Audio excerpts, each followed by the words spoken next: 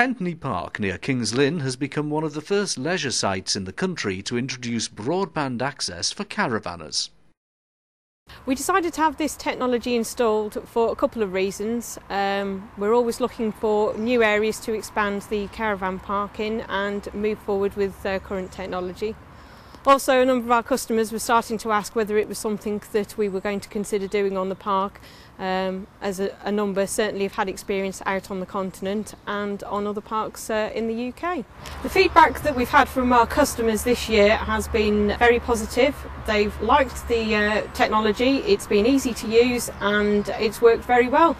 And now I can get onto the internet with no problem whatsoever and I can email my grandchildren and uh, they can e email me and we can also use the uh, technology that you can use as a telephone which I think is a marvellous thing because it's a, a, lot cheaper than landline so we're, we're, we're delighted with the uh, technology. It definitely should be on every caravan site. We're, we're lost without it now. Holiday parks aren't suited to conventional broadband technologies such as ADSL because typically they require a fixed telephone line for installation. In a park like this, that's nine times out of ten going to be impossible. Broadband is injected into key locations around the park, normally at the main electrical incomer and also at sub-distribution points around the park. This means that the signal can be repeated around the park to ensure that the whole electrical infrastructure uh, carries connectivity to anywhere that there's an electrical plug socket.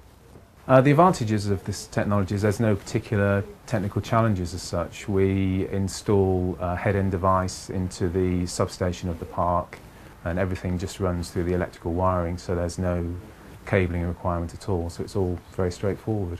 People can now access our high-speed internet service park Wi-Fi through the system and that's basically through any electrical socket in the caravan.